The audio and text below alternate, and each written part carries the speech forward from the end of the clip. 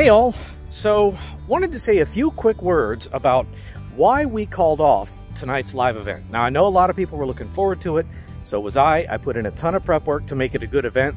So rest assured, we didn't make this decision lightly, but here's kind of here's kind of the backstory of what happened. So initially, our panel was to include a total of seven people, eight if you count me.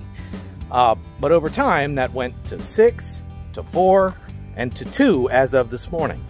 And um, it happens. I mean, life happens. You you have schedule conflicts. People get sick. I mean, it's what happens. Uh, but the, the long and short of it is, uh, when the dust settled, there were three of us left. There was me and two others.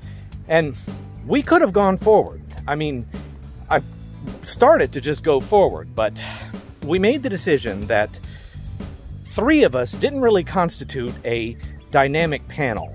So I made the decision to just postpone until we could have some more people available. Now, I have no idea what that time frame is going to look like.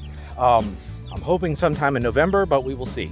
I've reached back out to all the panelists that I invited the first time around to see what different schedules might look like. So, as I know more, I will let you know. But we, we definitely want to do it. We definitely want to do it, but we want to make it we, we want to have enough perspectives and enough expertise to make it a worthwhile event that people would, you know, actually want to tune into.